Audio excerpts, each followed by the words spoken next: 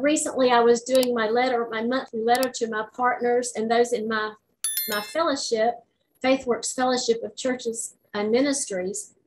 And I sat down at my computer. The way the Lord does it with me is I don't put a, do an outline. I sit down with him and he begins to to talk to me about what to say. And man, that is that is fun. So um, he said, look up John uh, 2022. I'm like, all right, Lord, 2022. What have you got to say? And when I uh, began to read it, I went back and read the whole story. So I'm just going to tell you what it says. On the evening of the first day of the week, when the disciples were together with the doors locked for fear of the Jews, Jesus came and stood among them and said, Peace be with you. Now here's uh, 20, uh, that's, that's 2020. After he said this, he showed them his hands and side, and the disciples were overjoyed when they saw the Lord. I bet. Again, Jesus said, Peace be with you. As the Father has sent me, I am sending you. And then 2022 says, And with that, he breathed on them and said, Receive the Holy Spirit. If you forgive anyone their sins, they are forgiven. If you do not forgive them, they are not forgiven. He breathed on them just like he, it reminds me of when Adam breathed, uh, Adam was breathed into by, by the Lord and he came to life. It's like Jesus was saying, I have, I have purchased everything Adam stole. And just like my father breathed life into Adam, I am breathing the life of my father back into you. It is done. I have done it. That's very exciting. And then he said, Peace be with you. As the Father has sent me, I am sending you. And so then he breathed on them. This is very crucial, folks. He said, Receive the Holy Spirit. So, of course, that means that if, if you don't think the Holy Spirit's for today, that's just not right. Anyway, it's not it's not biblically correct. And I could show you in the book of Acts, chapter 19, that there's two there's two baptisms, but we won't go there today. That's for another day. But right now, he said even more than receive the Holy Spirit. He gave them authority to forgive sins. He said, You go in my name and forgive sins. Release people in my name, just like I did when I was on the earth. I forgave people and I'm asked, I'm giving you authority.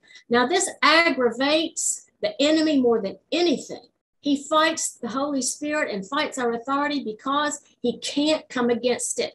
So he will, he hates that more than anything. He fears it you know, the enemy's full of fear. That's why he's a fear monger because he's full of fear. He knows his time is short. He said, Oh, no, don't release these people into authority. I'm cooked. You know, I, I won't be able to operate. So Jesus said, Receive the Holy Spirit if you forgive anyone his sins. If you forgive anyone their sins, they are forgiven. If you don't forgive them, they're not forgiven wow, if we are encountering people that are in trouble or they're hurting or they're they're ugly or they're angry and we're not releasing them, if we're not forgiving them, then we are binding them. Jesus said, whatever you bind is bound, whatever you loose is loose, back in John before he went to the cross. This is crucial, folks, and it's very serious that we need to release anybody. We can't hold out against anyone. Because if we bind them, then the Holy Spirit can't come in and deal with them.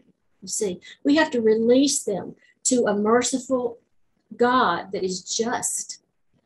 And if you have family members, you have people in your life, and you have, you're harboring unforgiveness, then you are binding them, and you'll be responsible for that because Jesus said, "Don't do it." So it's so easy to do. You feel like you you're they're getting away with something and that what you feel like doesn't matter. But that's not what's happening. God is a just God. He's a God of vengeance, not revenge, but he's a God of vengeance. So you have to release them into the merciful, just hands of God, and then he can deal with it. And you're free. Don't get even, get free. and let that let God deal with that person and you'll see miracles happen in your relationships and other people's lives and plus you're going to walk free and that's what Jesus said that was this is John 20 22 so that's a word for night for 2022 we're going to forgive people their sins we're going to go out in the power of the Holy Spirit and we're going to loose people into the kingdom of God. And I bless you to do that in Jesus' name. Do something about it today. Hi, I'm Douglas Wilson with Walking on the Word Ministries. Thank you so much for watching TMCI TV. We hope you enjoyed and were blessed with this week's Tuesday encouragement. You can help us share the good news by liking, subscribing, and turning on your notifications. This will help you keep up with the latest news and newest episodes. Be sure to join us for a new Tuesday encouragement every Tuesday on TMCI TV.